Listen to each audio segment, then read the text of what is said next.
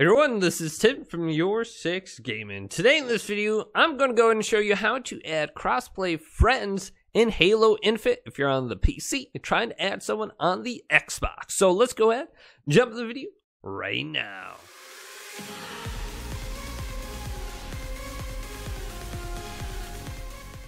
So this is very easy to do. Now you can add someone on Xbox if you're from the PC, or if you're on the Xbox, you can easily add someone on the PC.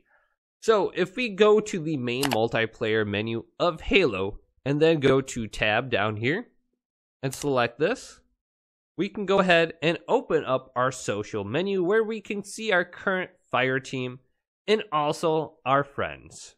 So if we select friends right now, these are everybody that are on my Xbox Live gamer tags friends list. So, over my years of playing the Xbox, even though I'm now on the PC, I've accumulated hundreds of new friends. So, to add someone to this list, you have to add them on Xbox Live. So, like the Ackman. So, if I want to go in and invite him easily, I could. Now, if I go down to G, find friends right here on the bottom, and select this, I can go ahead and invite people from Steam. So let's select Steam. And these are people currently online on my Steam friend list. All I have to do is go to invite right here, and they will be invited to my current session in Halo Infinite.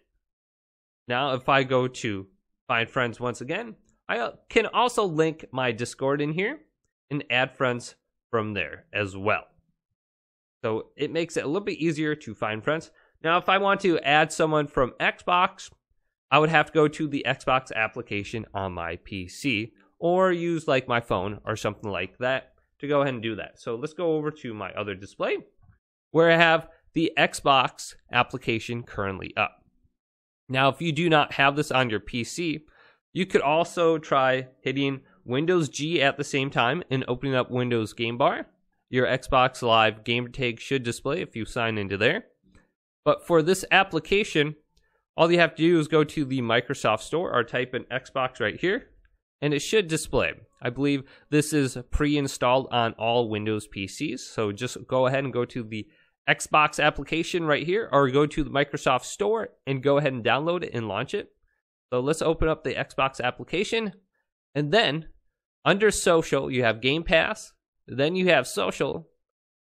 Right at the top, we can just search for anybody's name. So let's type in Timmy and just see what pops up. And these are all the Xbox Live gamer tags that are named Timmy.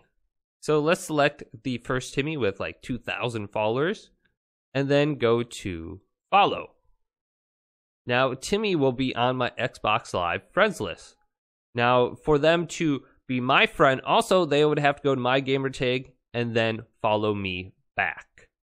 So I can invite Timmy now in Halo Infinite when I'm in the game menu. Now, if I did receive like a, a follow or a friend request, it should display under the notifications right here in the upper right. And it should say something where I can follow them back over here. Now, when I go back to Halo Infinite, that person should display in here if they were online. So then I can just go to their name and then invite them to my current session. And they'll display under my Xbox Live friends list. So that is how you add a crossplay friend when you're on your PC, when you're playing Halo Infinite. So if this video did indeed help you out, go and leave it a big thumbs up and subscribe to my channel down below for more tech up videos coming up next on Your Six Gaming.